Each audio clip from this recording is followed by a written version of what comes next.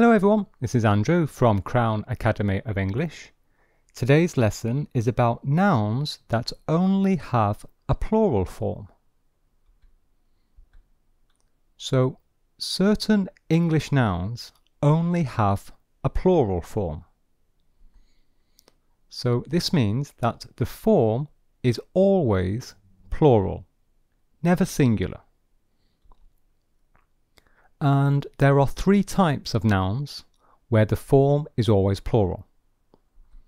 Type 1. Certain articles of clothing. Type 2. Certain tools or instruments. And type 3, well, there are a few other types. So now let's look at each type in detail. So first of all, type 1, certain articles of clothing. So it's not all types of clothing, but just certain articles.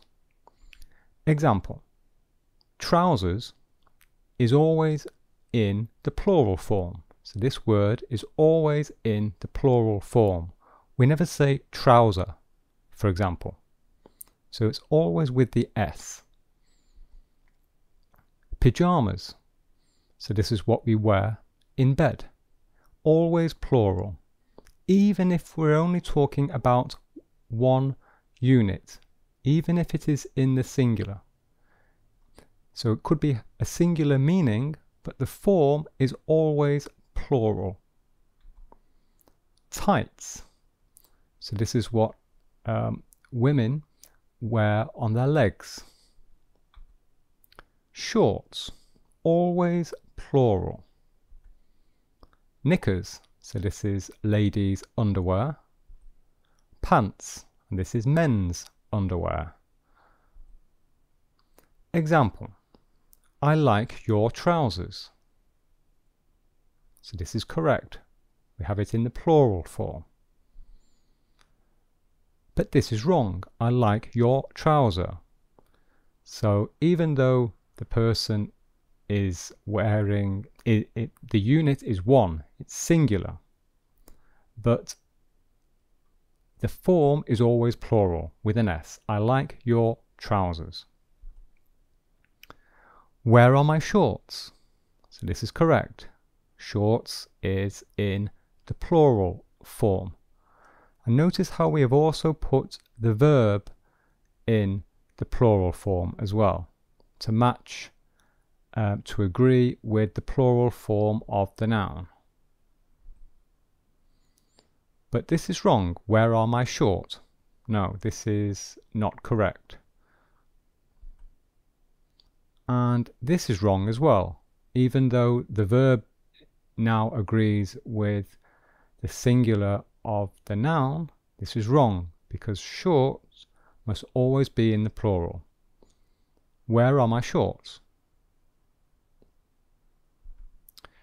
Certain tools or instruments. Binoculars. So I'm sure you know what these are. They help us to see things which are far away from us. And it's always in the plural. We never say binocular without the S.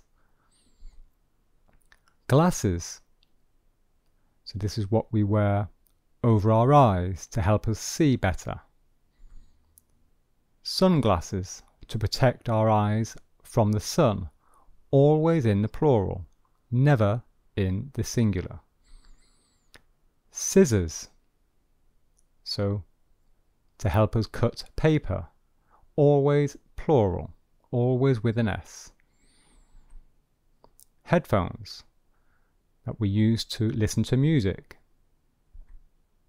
Example, can I borrow your headphones? So this is correct. We have it in the plural form. But can I borrow your headphone? No, this is wrong.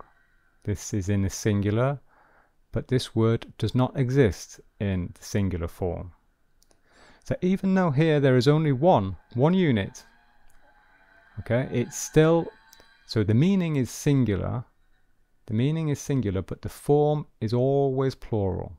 Can I borrow your headphones? Where did you buy your sunglasses? Plural. But where did you buy your sunglass in the singular? No, this is wrong. Okay? Now, so here is a sum the summary of what we have already seen.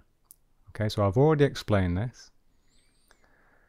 And now, so how can we um, how can we define or specify if we only want to talk about one unit in the singular? Well, we use the following structure for one unit, singular. Of these words, okay, this rule is only for type 1 and type 2. So for these examples. So for these examples, we can say pair of plus the noun in the plural form. And it means one unit. Example. I need a pair of shorts. I need a pair of shorts. So just one. This means I want one. I need one. But we obviously don't say, we don't say I need a short. I need a short. This is wrong. This is incorrect. Because short must always be plural. But this is wrong as well. We cannot say I need a shorts. No, if we want to say one unit, singular, of all of these words, then we say pair of. I need a pair of shorts. I need a pair of trousers. I need a pair of tights knickers, pants, binoculars, scissors, okay, for one unit.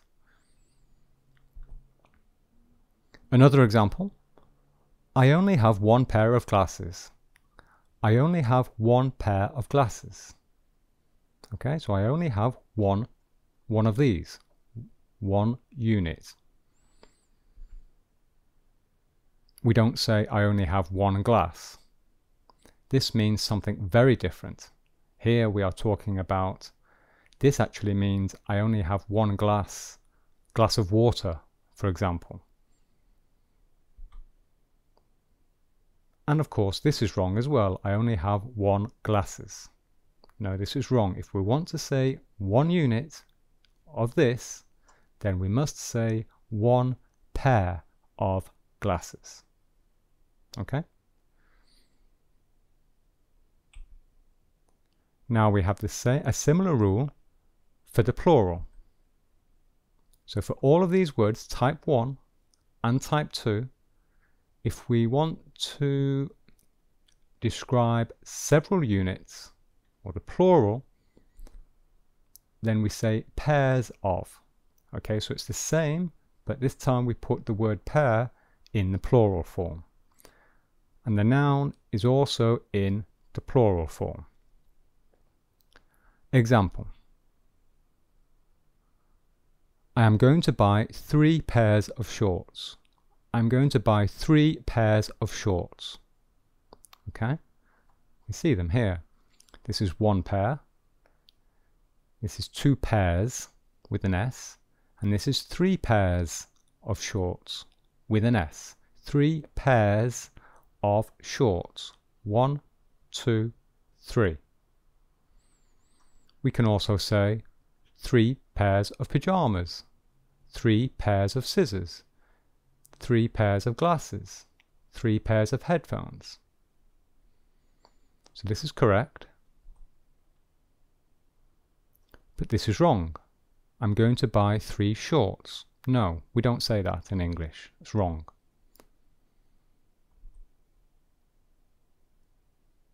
Here are lots of pairs of tights. Here are lots of pairs of tights. Okay, so here we haven't actually specified the number.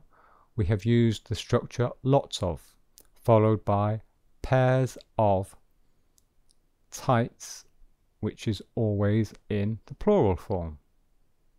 Okay, So this rule applies to type 1 and type 2. So all of these words follow this rule for the plural. And this is now type 3. So these are the other nouns with only a plural form.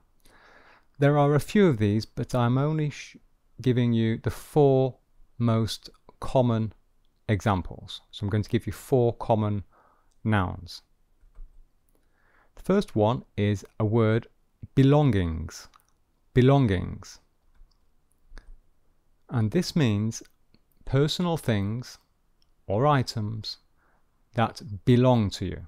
So you can see the, ori the origin of the word is um, comes from the verb to belong. So if something belongs to you, it is your belongings. It is your belongings. So this is a noun and it's always in the plural form. So it just means things that you own, that you perhaps carry around with you. So for example, you go to the you go to the shops and you carry your belongings. You carry a bag, a hat, glasses, scarf.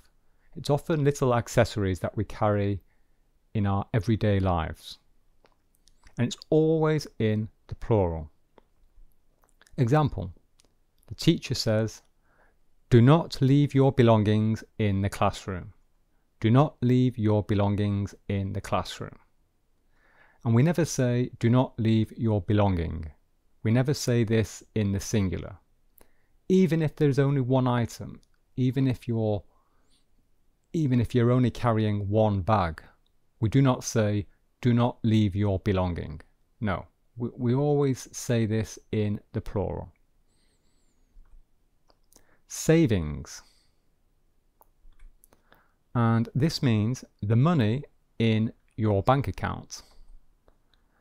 And the origin, the origin of the word is because you are saving the money for the future. Okay, so this is the origin of the word. So it comes from the verb save, to save money. But this is a noun. This is a noun and it is always in the plural form. Okay? Example. I spent my savings on a new car. I spent my savings on a new car. And this is never in the singular, so we would not say, I spent my saving on a new car. No, that, that is wrong.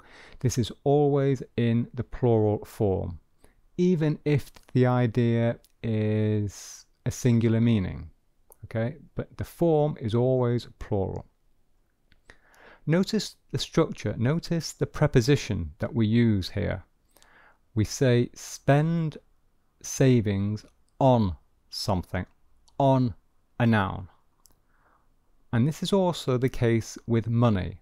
I spent my money on a new car.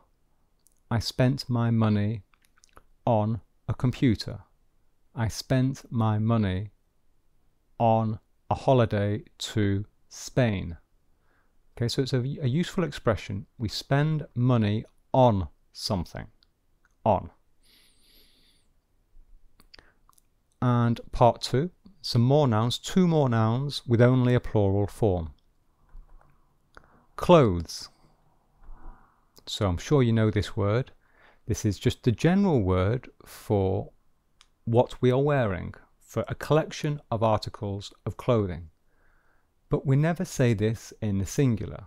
We don't say clothe without an S. No, we only have this word in English in the plural form. His clothes are dirty his clothes are dirty. So we have the, the noun always in the plural. And look, since it's, it is in the plural, then the linking verb to be is also in the plural form because we have to, this has to agree with the subject, with the noun. So here we have the, um, let me think, sorry, the third person plural of the verb to be. Are. His clothes are dirty.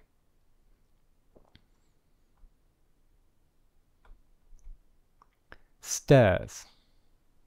So stairs refers to this structure inside a building. It's, it's the, the general structure here, the whole structure. And in English, um, it is always in the plural form, always. An example, to go to the first floor, you can take the stairs. You can take the stairs.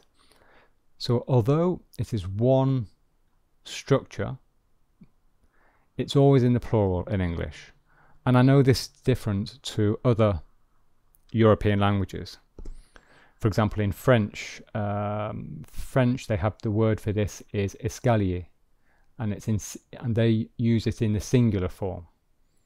So that's why this rule is quite important in English. It's important to understand that in English, um, it's only in the plural form. You can take the stairs.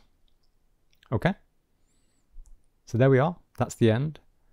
Here are some other lessons which I think you'll be interested in.